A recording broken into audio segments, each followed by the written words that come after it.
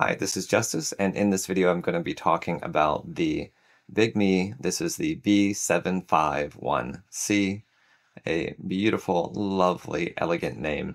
Um, I would recommend a name adjustment in the future for these devices. This is a color e-ink screen, and it has the Google Play Store, and they've done a really good job improving the UI. Uh, you can see it's got a little widget up here for the time. It has the Google Play Store, which is really cool. Um, BigMe GPT. This is now based on ChatGPT 4.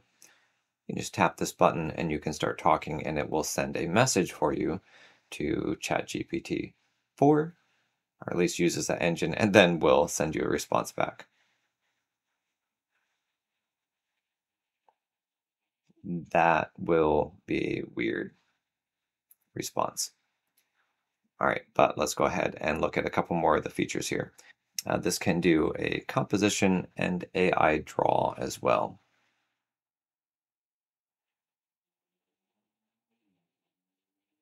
Now, if you want to adjust the screen right up here at the top, there's a little icon here. This gives you a lot of these settings here. This will make the screen, um, the color brighter. Uh, this one uh, enhancement, contrast settings, you can adjust all that. Uh, refresh frequency. If you want to make this screen actually light up, right over here, swipe down from the corner, you can increase the brightness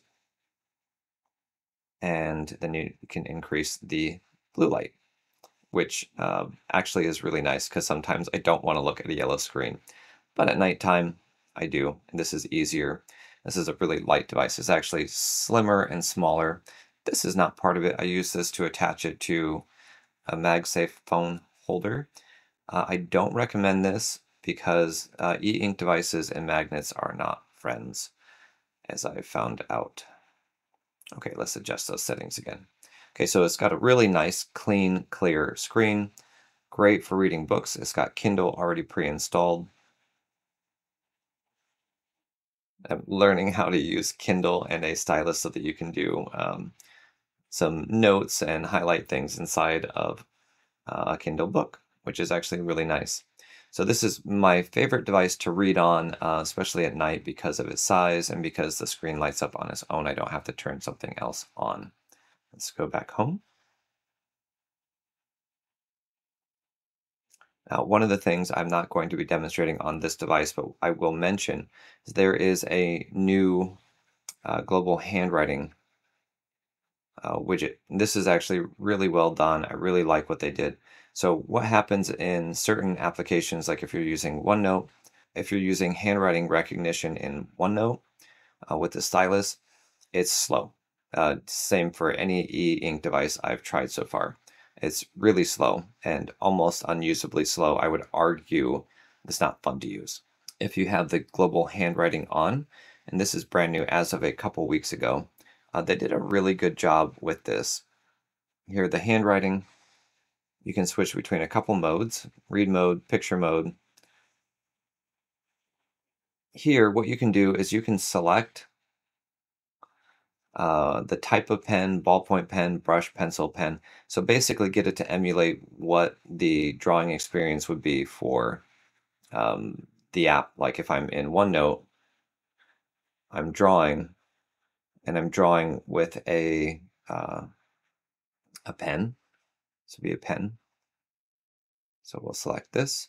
So what this will do is when you're drawing on the screen, it will take the line, draw it over the application. So it's not actually the application pulling in the data.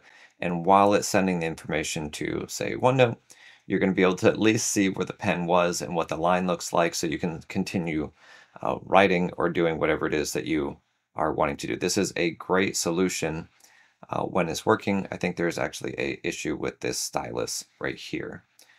And so uh, that is yet to be seen. And uh, I believe that they're going to be sending me a larger device, one of the newer ones uh, that uses a different pen tech. And so there's a lot of hope for this system. It's one of the things that I'm most looking forward to is being able to use OneNote on an e-ink device and have OneNote feel snappy, like just comfortable and pleasant to write on. It is my favorite type of device to write on. It's so nice and so lovely.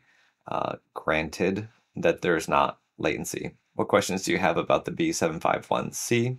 Uh, go ahead and put those questions in the comment section and look forward to more videos about BigMe e-ink tablets in the future. If you're interested in picking up a little e-ink device like this one, please use the links in the description.